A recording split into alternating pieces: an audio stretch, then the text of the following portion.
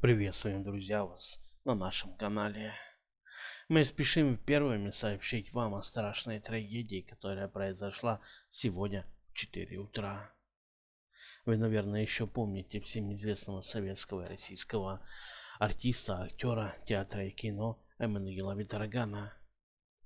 Нам сообщают наши источники, проверенные источники из интернета, о том, что сегодня рано утром Эммануил Виторган впал в кому в одной из больниц города. Туда он был доставлен своими родственниками на личном автомобиле прямо из загородного дома, который находится в 50 километрах от города Москвы.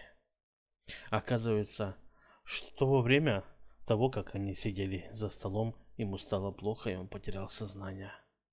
Уже в больнице он упал в кому. На данный момент крайне мало информации Многие факты мы пока сообщать не будем, так как они еще не подтверждены. Очень надеемся, что медики к утру нам уже сообщат более подробнее о состоянии его здоровья. Следите за новостями, друзья, и не забывайте, что только самые честные новости на нашем канале. Только мы сообщаем вам проверенную информацию из жизни звезд российского шоу-бизнеса.